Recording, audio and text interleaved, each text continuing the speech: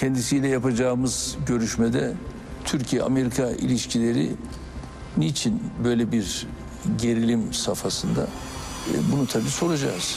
Tüm Türkiye'nin yanıtını merak ettiği o sorunun sorulmasına saatler kaldı. Türkiye-ABD ilişkileri belki de tarihinin en zor dönemini yaşıyor. Ve ilk kez sorunlar bu kadar açık, bu kadar yüksek sesle dile getiriliyor. Herkesin sonucunu merakla beklediği zirve Brüksel'de NATO toplantısında gerçekleşecek. Sayın Biden'a şunu da hatırlatmak isterim. Biz birbirimize yabancı değildik. Aramızda farklı ilişkiler vardı. Sağ olsun evimize kadar gelip rahatsızlığımızda bizi ziyaret etme nezaketini de göstermişler. Son dönemde sık sık karşı karşıya geliyor görünseler de aslında Cumhurbaşkanı Erdoğan'la ABD Başkanı Biden birbirlerini oldukça iyi tanıyor. İki lider 2009-2017 yılları arasında Biden'ın başkan yardımcısı olduğu dönemde birçok kez bir araya geldi. Bu buluşmalar kimi zaman sıcak sohbetlere sahne oldu. Cumhurbaşkanı Erdoğan da tıpkı bir önceki başkan Trump döneminde olduğu gibi Biden'la da kişisel tanışıklığına sık sık vurgu yapıyor. Ancak ABD Başkanı sıfatıyla ilk kez Erdoğan ile görüşecek olan Biden, halifi Trump'ın aksine ABD dış politikasını kişisel ilişkilerle yürütmeyi tercih etmiyor. Diplomasi geleneğini ve devlet kurumlarını devreye sokuyor. Yani biz Bush'la da çalıştık. Obama'yla da çalıştık. E bunlar da yani demokrattı. Ama hiç bunlarla böyle bir gerilimi ben yaşamadım. Cumhurbaşkanı Erdoğan siyasi hayatı boyunca başbakan ve cumhurbaşkanı olarak üç farklı ABD başkanı ile ilişki kurdu. Biden dördüncü. Ancak ilk kez bir ABD başkanı ile iletişimde bu denli sorunlar yaşanıyor. Zira Biden Cumhurbaşkanı Erdoğan'ı otoriterleşmekle eleştiriyor. Öyle ki New York Times'a verdiği röportajda kullandığı ifadeler zaten zorlaşan ilişkilerin daha da gerilmesine neden olmuştu. And so, what I think we should be doing is taking a very different approach to him now, making it clear that we support opposition leadership.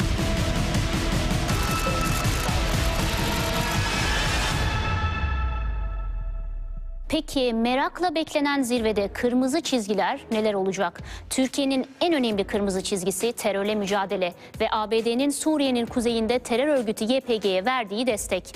Biden yönetimi 2022 yılı için kapsamlı bütçe talebinde terör örgütü YPG'ye desteği devam ettirdi.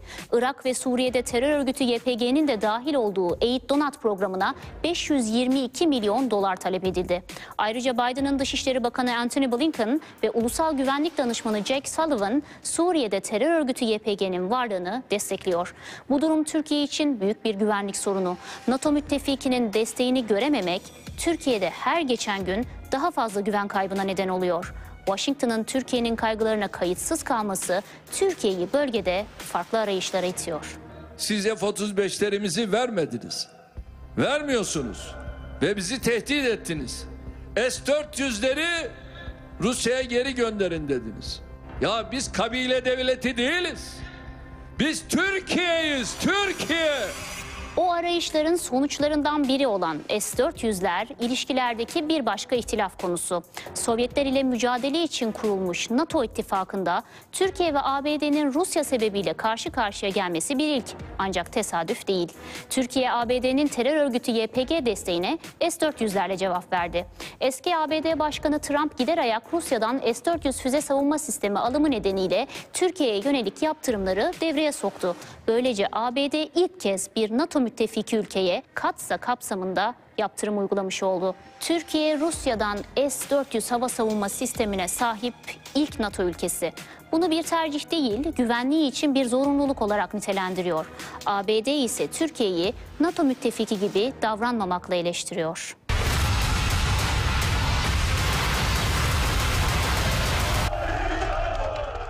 FETÖ elebaşı Fethullah Gülen'in hala ABD'de ikamet etmesi iki ülke arasında gerginliğe neden olan bir diğer konu. Türkiye 15 Temmuz darbe girişiminin ardındaki isim olan Gülen'in iadesini istiyor. Ancak bu girişimler henüz ABD nezdinde karşılık bulmuş değil. Oysa darbe girişimi sonrası o dönem ABD Başkan Yardımcısı olan Joe Biden Ankara'yı ziyaret etmiş, ABD olarak yanınızdayız demişti.